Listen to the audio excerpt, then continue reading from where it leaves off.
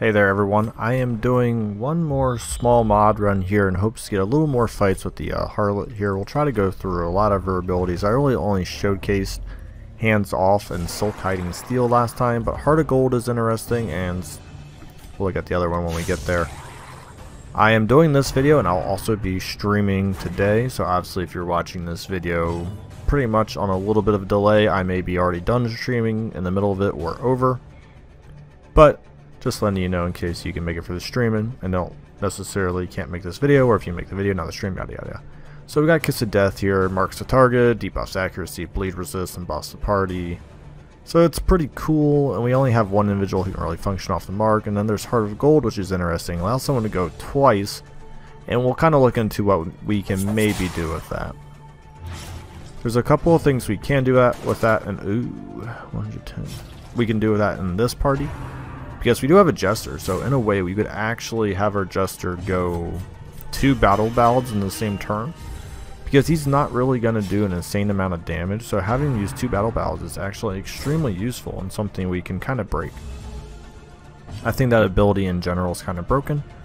However, she is a mod character, so she's not meant to be part of the regular uh, what do you want to call it, the regular balance of the game. So some of the characters can get a little wacky in here since uh, people made them and the designers really had no say on what happens. But it's cool people make their own classes because it does certainly allow you to... Ooh, duh. I need to start bringing individuals to affliction so I can start like melting them off in the code because of all the all the uh, negative quirk removals removals we will find. However, I do like showing decent runs, so I do try to How's her trap disarm? 120, that's actually not bad. Yep, not bad. But not good enough, I guess. That's fine. We just have to use a couple of inspiring tunes on her, which her Heart of Gold will be perfect for. So it actually works out very well. Now my only question is, is if it gets that hero's turn, do they get two turns right away? Or do they get another one at the end? We're going to find out because I need her, oh gosh, especially against these two guys. I need her to get to like almost immediately. And oh, look at that. So we'll do one for that. And then what we could even do later, oh my gosh, this is a this is actually a pretty hard fight because all three of these guys are relatively high priority. So I do need, yeah, how that's the one. I mean, I guess I'll be thankful it missed, um, Mister.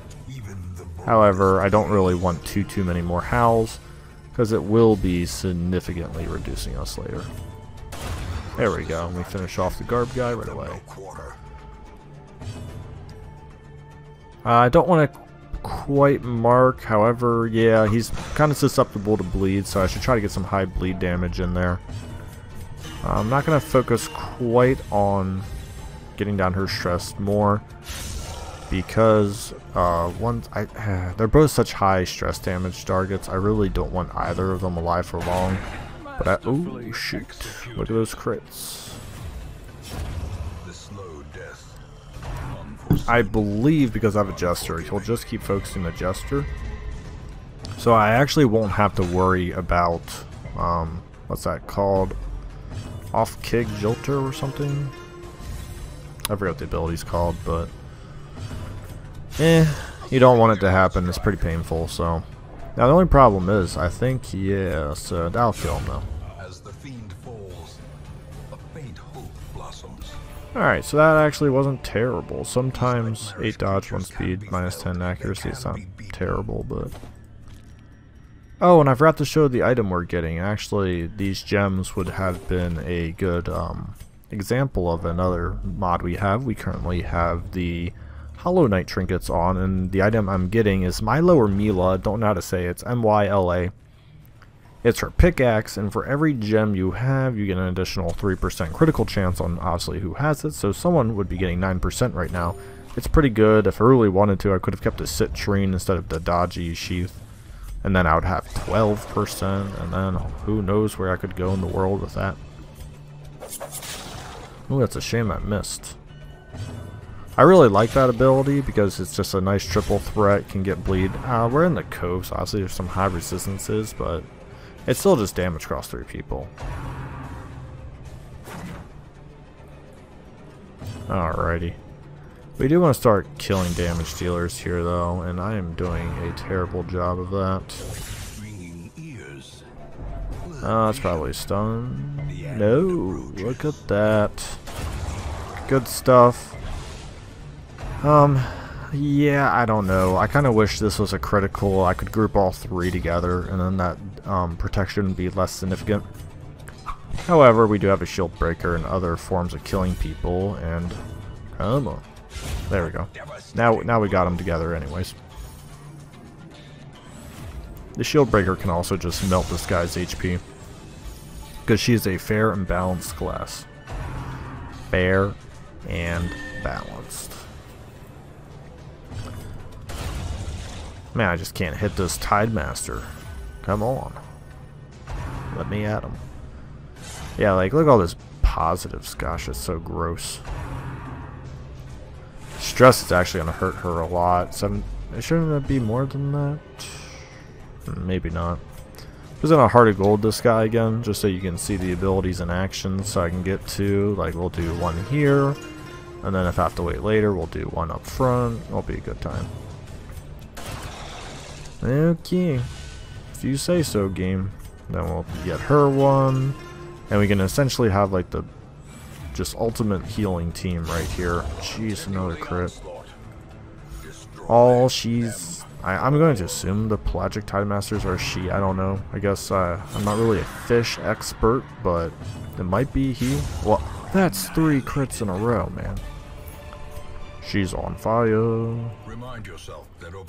I'm really not going to be too interested in uh, a lot of money because I have a lot. So you're going to see me just pretty much bypass a crap ton of loot because I do not care. Um, ooh, I forgot to move my person. However, we can see this in action. So we now got minus stress, we got minus accuracy, did not help, but he had minus accuracy, bleed resist, actually moved me in a position I kind of wanted to be in. But now we get to see the mark in effect. Didn't kill, actually kind of surprised about that with all the uh, damage increases he has, but that's okay. Yeah, and I hate Uka Savages, so this is just gonna... I would rather have three crits in a row in the Uka, but uh, we'll, we'll see. Yeah, I mean 22 damage is still pretty darn good, so I won't complain. It's just they can do 10 bleed, they got a lot of HP. If they do Tidal Slam and it works, it's really painful and Oh gosh, you don't, yeah, you don't want to get Tidal slammed. So, next turn he'll probably be dead unless we have some horrible misses. Or stuns. Stuns are always good. Oh, jeez, another crit. That's probably, oh, I say if that bleed goes off, he's definitely dead by DOT, but yeah, we just need a shield breaker to go, which she should with 8 speed on it, yeah. Yep, that's enough damage. Bye-bye, Uka. Yeah, Uka Savages, man, they are... They're so deadly, but I feel like... I don't even know if I want to call them a slow creep. They're not really a slow creep. They, they burn you down pretty dang quick. I mean, it's... It's noticeable once you start getting hit by Uka bleeds, or the Tidal Slam's can actually really mess up your party compositions you got someone in the front, and next thing you know, the Uka's like, yeah, he's not in the front anymore. You're like, okay, that's fair. Uh, see, we got some bleeds going on there, and then we got some of these going on here. Then we get some point blanks going on in here. It'll be a good time.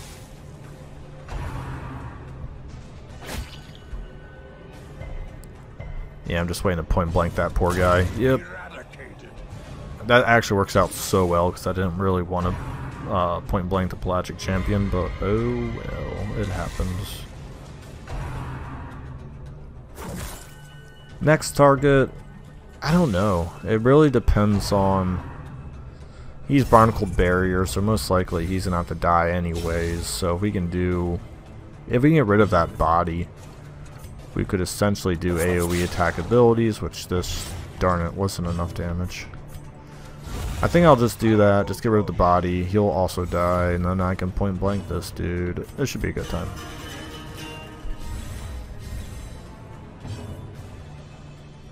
Yeah, at least, and uh, I'm, I'm gonna change the abilities up on the Harlot here soon so you can see other stuff in action. I don't want to do just the same with four abilities, but you kind of get the point now, so it's always good to see all of the skills. Now the only problem is I didn't make sure this party was adequate to fit all her skills. Um, we're fine on stress, so I don't really want to do, what's it called, Heart of Gold. I say we'll go for a lucky bleed chance, we got it. Crit might guess a bleed, there we go. I think I was a moron though. And I don't think I put on Oh, I did, so I can... There we go. It's not going to be enough damage. Wish that was a little more. However, I did at least get a direct hit in. I could have done Impale, but I think the other ability had more damage that way. It's okay. It, when you have a Jester in your lineup in the Cove, the uh, Squiffy Ghast essentially just start... Well, not essentially, they do. Just target them the whole time. So it's an easy way to just have uh, the gas just focus the Jesters. I ate a lot of food there so we could heal. Obviously, want bandit sense, clean guns. We'll do Eye of the Tiger on Shieldbreaker Shore. She also gets I've completed DLCs. She gets a couple of bonuses for two battles, which is just going to make her an absolutely broken individual beyond what she already is. And yes, she can get worse than what she was, so... Don't underestimate the power of Shieldbreaker, but I don't think many people do because it's pretty dang obvious. Once again, this is more of a formality just to get the golden stuff. I actually don't need it. Hence why I usually overstock on literally everything. Don't use these runs as, like, pure tips, because A, I have DLC, so which means the composition lineups are going to be different, and you can't do. And C, I'm really lackadaisical with some of the stuff I do. So, you know, just just remember that. And I said I would change your skills out. Which I didn't, darn. Okay, I will have to change her skills out. I do mean that. I'm horrible and I- oh, come on. Yeah. I'm so happy that one ability repose, even if it's just for one round or a turn, whatever. It's just so strong. So, so, so strong. Marking a target's not to do a lot. Yeah, so we might as well try to get some bleeds going on in here. It's a low percent chance, but it's really better than just reducing. I mean, I could reduce the accuracy so we don't get hit with um, pinched arteries and stuff like that. Yeah, I should probably reduce his accuracy. I'll do that next round so we can try to dodge those better. Dang, even with 58 dodge. Okay, good resist, but... So yeah, let's reduce the accuracy here. And also, if he gets a critical chance, we'll have some of our um, Stress reduced. Ooh, there we go. Don't need the uh, stuff there. I'm going to avoid that room because A, there's nothing there, and B, I believe you can leave two rooms open in Medium Explore. So we actually do not need to go to that one. Hence why I didn't go to the other one as well, because that's seven spaces out and a battle fight. It would have taken forever to walk out there, walk back. Granted, these next Maybe I should have to show more fights off, but for some reason, every time I bring out the Harlot, everyone's scared of her. I don't know why. They must... Oh yeah, I need to change her skills. Don't want to be a liar. So let me just look at the next two here. She has to be in the front for that one. Probably not going to work. Hold me close. Force guard an ally. Clear stun. Stress. Debuff target. Crits receive. We'll try that. 109 versus marked. Interesting. Um. Yeah, well, I guess we'll see how that goes. I'm not exactly sure. Let's try, I say, Redemption. I guess I kind of wonder in the back now, don't I? Well, I, I still want run forward. Should be interesting for our last fight. Hopefully it's a decent fight. Yeah, if we get lucky, a collector or something. Yeah, it's it could be better, but it could also be very worse. So, we're going to do this. We're going to try to do on the prowl. Just make sure that... Just want to bring this guy... Oh, gosh. Oh, gosh. Dead. Because, yeah, it moves you forward one. Or we can do this. Force guard. Now, the only problem is that actually didn't work out as I want, because I wanted him to be able to riposte because then we could do like an anti-corium style, where, you know, if you get the riposte going, and then the guard, and she gets target, all that crap. But seemingly I'm just going to kill everyone like two hits. I guess it's not very, uh, very beneficial here, huh? And then we're just to do that.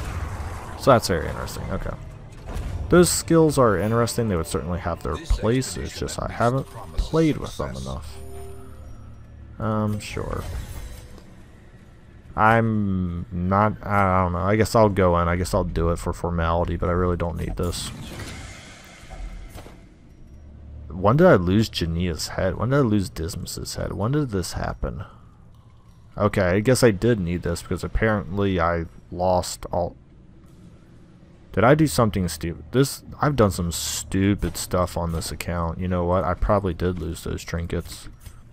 I'm just trying to remember where, where when, and why. I probably have it up on YouTube. I could probably go back and be like, yep, right here, everyone died. Hmm. Oh, by the way, if you get a secret room, it does count, and you can actually skip three rooms. However, I didn't think I was going to get a secret room. Glad I did. But, you know, you don't always get one, so I don't try to say that all the time.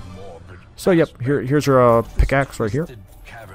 So at the end of that, that person would have had like an additional 15-20% and 5 accuracy. Maybe good on a leper, I don't know. With the 3 trinket mod on, it could certainly open up a crap ton of possibilities, along with a crap ton of negative quirks we just got. I'm trying to like clean off some of the negative quirks people have, but it's impossible at this point because the one mod I have on, it brings in a lot of additional people from the stagecoach. However, I can't seem to find a mod that opens up more sanitarium. Because you're like, oh wow, level 5s and stuff. Yeah, well they have 5 negative quirks. Like, it's just, nope, it's way too many. Alright, thank you for watching. If you're watching this video now, get ready for the stream in maybe about an hour or two.